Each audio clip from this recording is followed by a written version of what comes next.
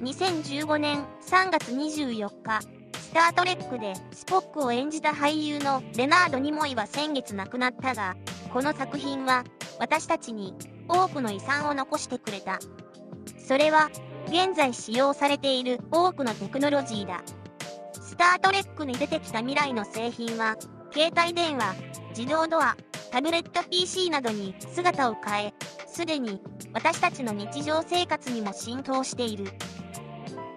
その1、携帯電話。もしスタートレックがなかったならば、私たちは携帯電話を使い、いつでも、どこでも電話をかけるというわけにはいかなかったかもしれない。携帯電話は、スタートレックに登場する通信機からヒントを得て作られた。携帯電話の開発者であるマーティン・フーパー氏は、カーク船長の金色の折りたたみ式の通信機から、携帯電話のインスピレーションを得たと語っている。その2、自動ドア。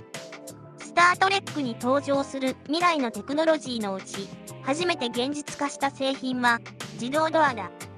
宇宙船エンタープライズの乗組員が近づくと、ドアは自動的に開かれる。今や、街角の商店などでも、自動ドアを目にするようになった。その3、トリコーダー。マッコイ博士は、携帯用探知装置トリコーダーで、人の体をスキャンするだけで、その人の生体情報を測定することができる。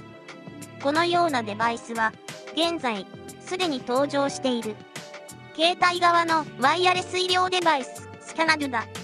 スキャナドゥは、患者のおでこに取り付けたセンサーによって、数秒間で、心拍数、体温、酸素供給量を測定し、心電図データを提供する。その4、スマート PC。自然な音声でパソコンと対話し、反応を得る。これは、スタートレックの最大の技術的進展だ。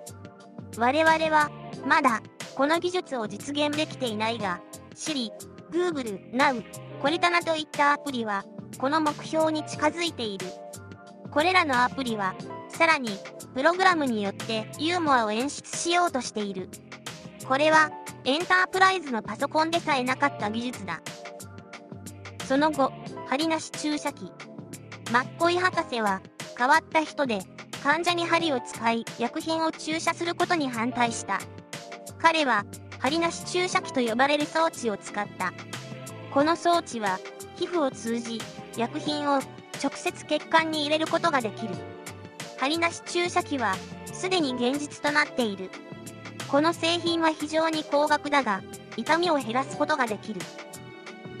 その6、クルーの即位システム。スタートレックのクルーは、派遣前に、カークやスポックの位置を調べなければならない。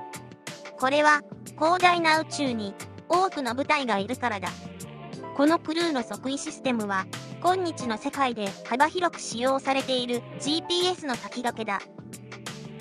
その7、宇宙旅行。スタートレックが残した最も偉大なる遺産の一つは宇宙旅行だ。同作品が1966年に初公開された当時、人類の宇宙旅行はまだ非常に危険だった。今や英国の事業家、リチャード・ブランソン氏は、その宇宙旅行会社バージン・ギャラクティックを通じ、一般人を宇宙に送り込もうとしている。しかし、宇宙旅行は依然として危険だ。同社がこのほど実施した試験飛行で墜落事故が発生し、飛行士が死亡した。その8、タブレット PC。宇宙飛行中には多くの物事を記録する必要がある。これは、スタートレックで PADD が使われた原因だ。PADD は、 Personal Access Display Device のことで、ノート PC に類似した機能を持つ。これは、iPad や Surface など、今日の数十種類のタブレット PC に似ている。しかも、今日のタブレット PC は、スタートレックの製品よりも薄型だ。